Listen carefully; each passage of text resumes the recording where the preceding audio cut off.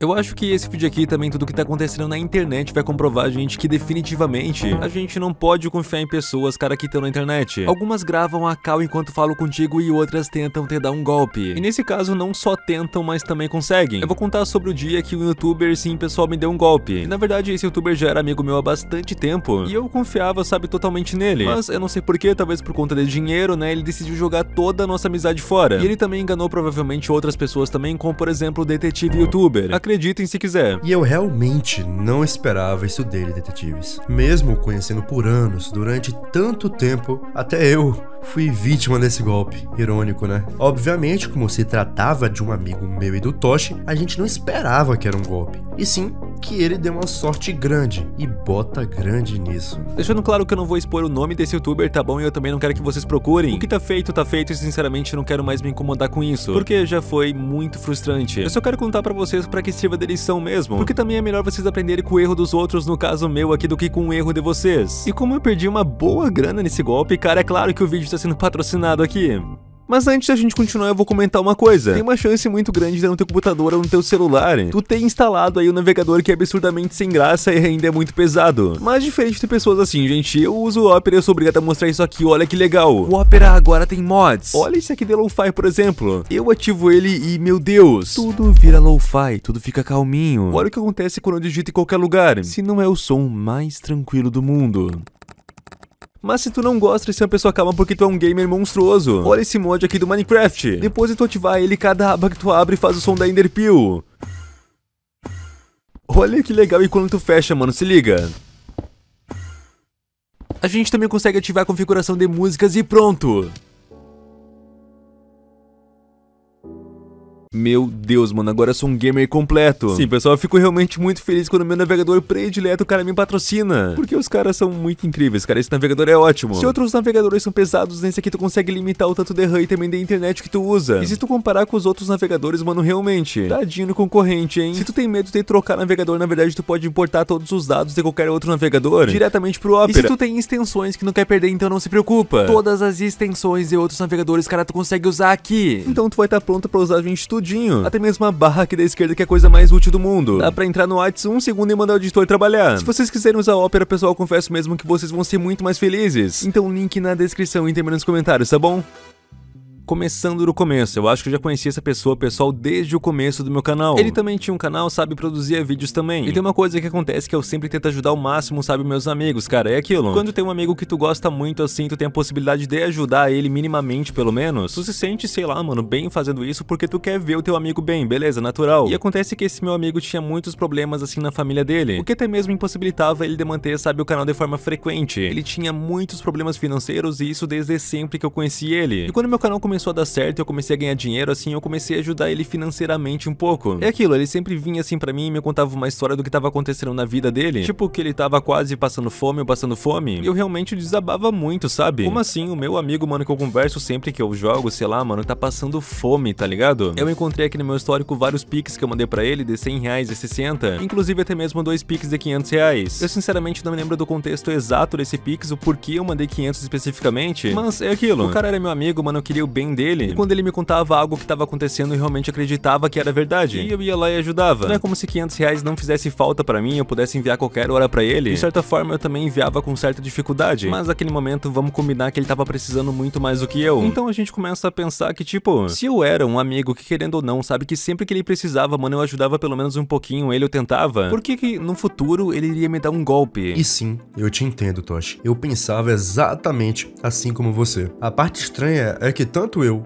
quanto o Toshi ajudávamos ele do jeito que a gente podia. Eu cheguei a mandar dinheiro para ele duas vezes, totalizando quase mil reais, mas toda semana ele me chamava querendo mais e mais, alegando que estava passando por dificuldade. Sabe aquela situação chata de ver seu amigo te pedindo dinheiro toda semana e você não sabendo como reagir? Se eu desse dinheiro, eu me prejudicava, porque eu precisava dele. E se eu não desse, eu me sentia a pior pessoa do mundo. Vendo essa situação, eu chamei ele para trabalhar no canal junto junto comigo. E era o jeito que eu conseguia ajudar ele. Além dos problemas financeiros, ele também tinha um familiar, sabe, também com muitos problemas de saúde e problemas realmente graves. Eu não acho que isso seja mentira, sabe, porque essa pessoa até mesmo fazia vaquinhas na época para arrecadar dinheiro. E eu acho que um dos motivos para eu mandar valores tão altos assim para ele também tem a ver com isso, sabe? Até que o tempo foi passando, pessoal, e um dia esse youtuber chegou com uma notícia muito boa para me contar. Na verdade, era a notícia mais incrível que alguém já tinha me contado na vida. Pô, ele tinha muitos problemas, sabe, não tinha dinheiro realmente para nada.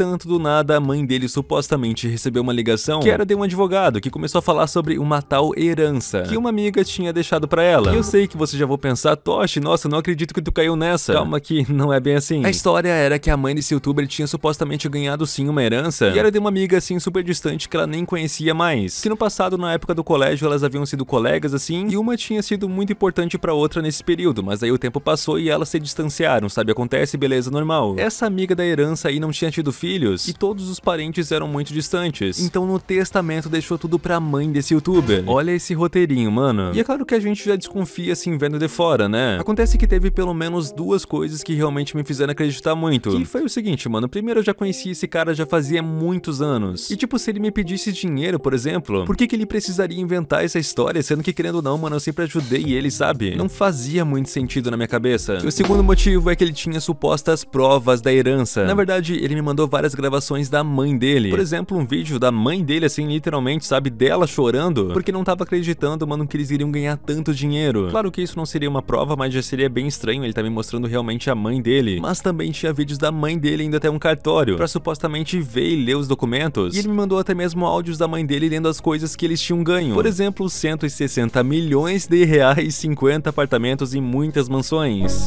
20 mil, 20 milhões de dólares das Maldivas que já foram transferidos para o Brasil, totalizando 104 milhões e 800 mil reais.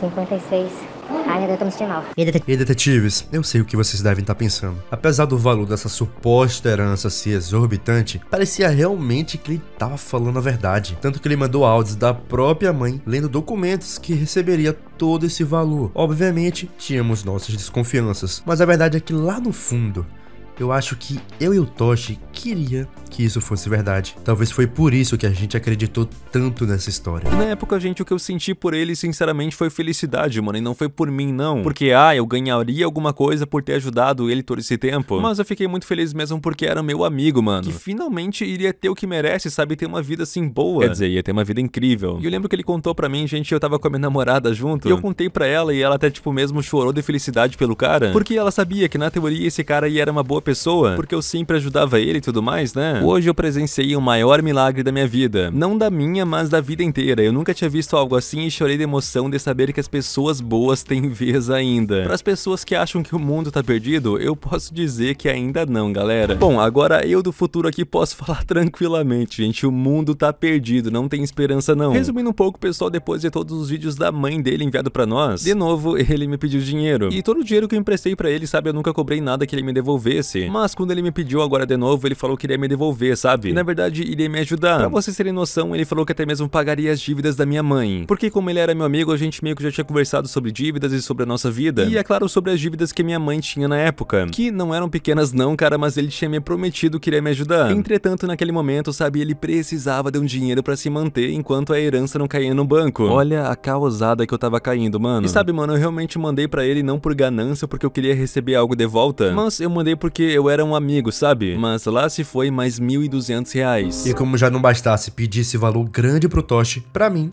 ele fez a mesma coisa. Me pediu algo em torno de 500 a 700 reais. O tempo foi passando e cada vez mais essa história ficava insustentável, porque cada vez mais ele inventava alguma nova história sobre o motivo ali deles não terem conseguido ganhar a herança ainda. Isso pra mim, enquanto pro detetive, eu posso falar pra mim, pelo menos, foi muito estressante, sabe, muito angustiante, porque logo depois das provas que ele mandou de passar toda a emoção, a gente começou a pensar com a razão, começou a encontrar, por exemplo, falha nos vídeos, nos áudios da mãe dele também, e a narrativa nem sempre se encaixava muito bem, mas ainda assim era aquilo, mano. Era meu amigo que a gente conversava, jogava e tudo, mano, por ano. Basicamente, estávamos servindo como se fosse um banco do cara, que ele pedia sempre quando precisava, com o álibi que a herança iria cair logo logo e que tudo que a gente tinha ajudado iríamos receber de volta, inclusive visitar as supostas mansões dele.